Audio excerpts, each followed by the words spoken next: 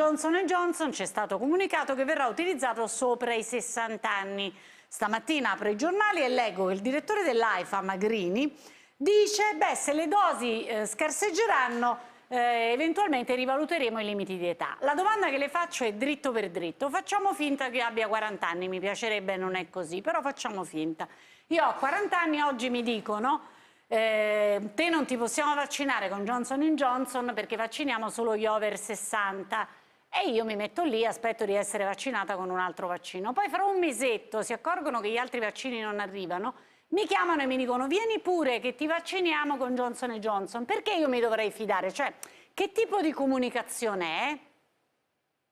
Allora, guardi, io credo che noi oggi dobbiamo, con l'approvazione del vaccino di Johnson Johnson, eh, ritornare a utilizzarlo e vaccinare rapidamente tutte le persone che hanno più di 60 anni, mettendo da parte, me, lo dico, mettendo da parte i vaccini di mRNA, non usarli più su chi ha più di 60 anni e rimangono da parte Pfizer e Moderna che utilizzeremo o sotto i 60 o forse in quella fascia dai 50 in giù, semplicemente perché in quella fascia più bassa, gli effetti collaterali sono sempre molto piccoli rispetto ai benefici, tuttavia si è visto soprattutto nelle donne sotto i 40 anni dove evidentemente eh, l'eventuale infezione fa meno danni rispetto a quelli che fa sugli ultra sessantenni, quindi il rapporto rischio-beneficio si accorcia un po' e in quella fascia dobbiamo utilizzare i vaccini freeze.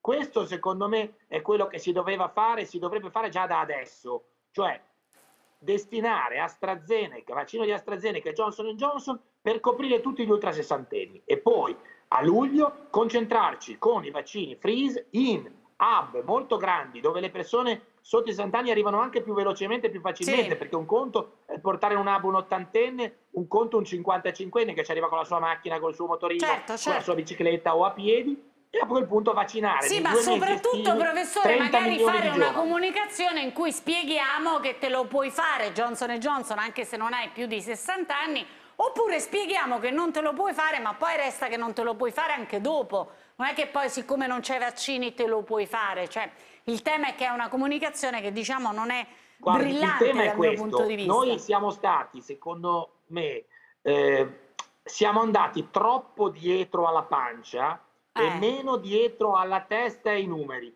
Gli inglesi, che sono i, i più pragmatici, forse nell'ambito della vecchia Europa, sono andati dritti alla meta e questi problemi se li sono evidentemente posti perché hanno continuato a sorvegliare gli effetti collaterali, ma sono andati dritti alla meta. Noi ci siamo fatti un po' troppo interrompere e ogni volta che interrompiamo un vaccino sono migliaia di persone che muoiono. Non dimentichiamocelo questo. Allora, saluto Luigi De Magistris.